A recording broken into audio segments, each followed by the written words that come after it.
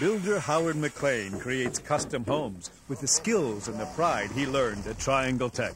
I'm very proud of what I do. I own my own business, and I am a Triangle Tech graduate, and I hire Triangle Tech graduates. What I learned from Triangle Tech enabled me to start my own business and get where I am today. I would recommend Triangle Tech to anyone who's looking to get into the carpentry field.